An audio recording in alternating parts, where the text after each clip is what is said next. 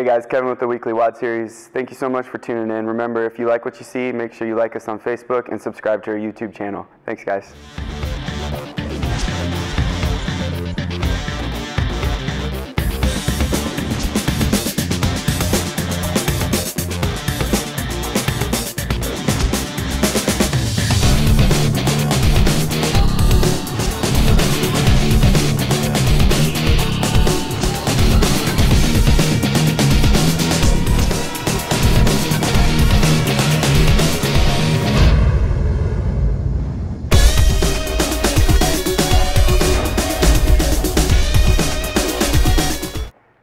We're going to end our zone block tutorial this week. And last time we were doing this, we were able to determine how many blocks that were appropriate for you as, as an individual. So what we're going to do now is we're going to go ahead and kind of outline what a day would look like. And we're going to base this off of 16 blocks because that's what we found for myself.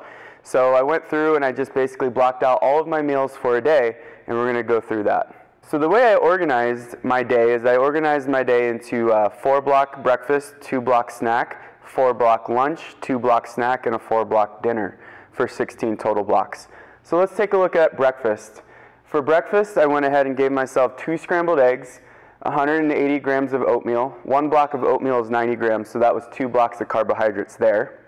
And I went ahead and added in 24 grams of protein powder.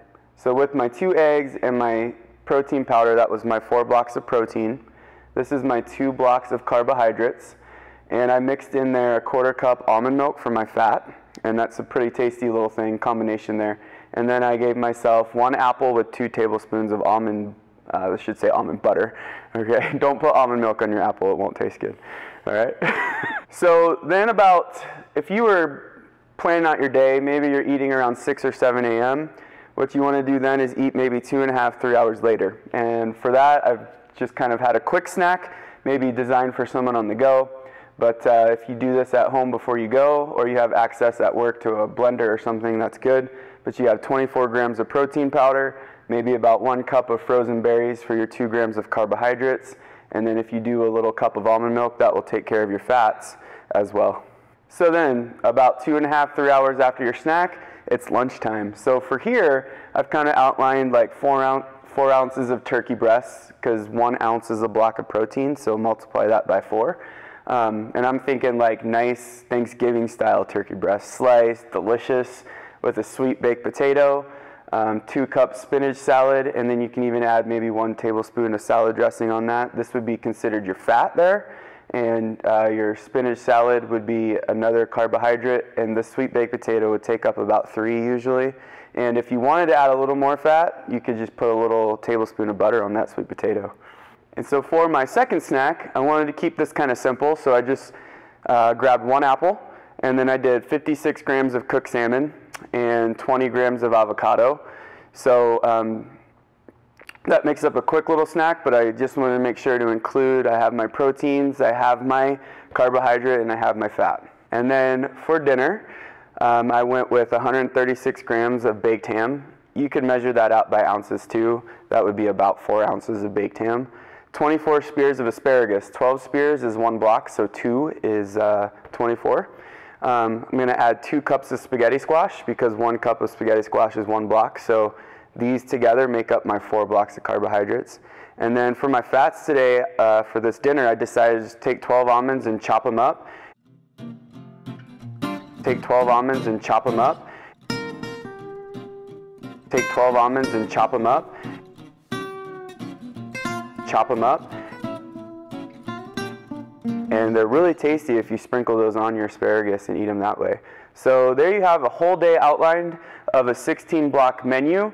And basically, it doesn't have to be this way. So we have these sheets at the box here if you're interested in grabbing those. And we have one block amounts for each item, protein, carbohydrates, fats.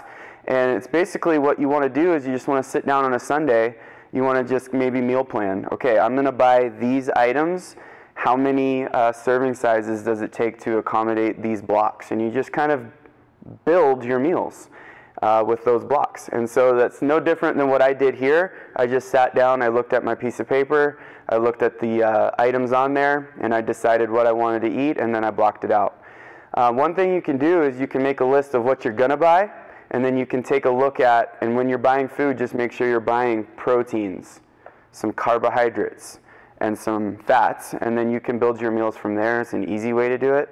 I find building a grocery list, making a meal plan, and having a plan, and then building my blocks from what I have is a lot easier than trying to say, okay, so for today I'm going to need some salmon, so I buy a bunch of salmon, but then I haven't planned to eat it.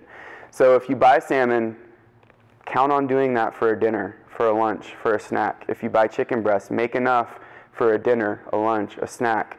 Same with eggs, hard boil a few so that you have a few for a snack. Um, don't make it complicated. Uh, the more you do it, the more it will make sense. The more time you spend, the easier it gets, and pretty soon you won't have to actually weigh and measure so much because you have a pretty good idea of what those serving sizes should look like for you. So give it a try, guys. If you have any questions, let us know. Comment below. We'd be happy to tackle any of the questions that you have. Um, other than that, I know that with the diet challenge going on, there's a lot of great things happening. And uh, this might be a great thing to look at to make sure that you're eating enough. And I know that you're all using a cool app that will allow you to make sure you're getting enough calories and make sure you're meeting that goal, at least within to 100 to 200 calories, because the last thing you want to do is underfeed. We want to make sure we have enough energy that when we get in the gym, we can attack our workouts hard and also have enough energy to sustain us through the day. So remember, your goal is to eat enough to support exercise, but not body fat. Okay, guys? Thanks for watching.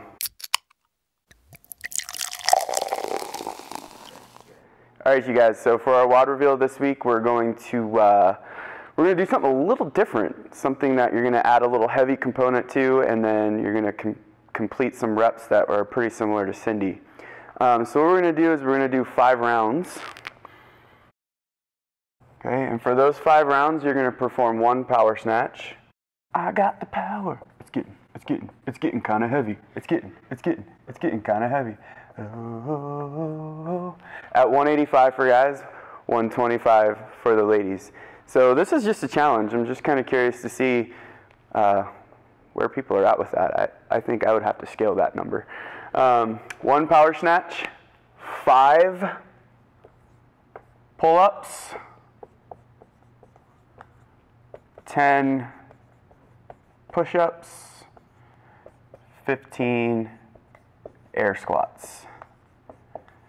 So again, um, this shouldn't be a super long workout, but it is going to challenge you uh, with this power snatch.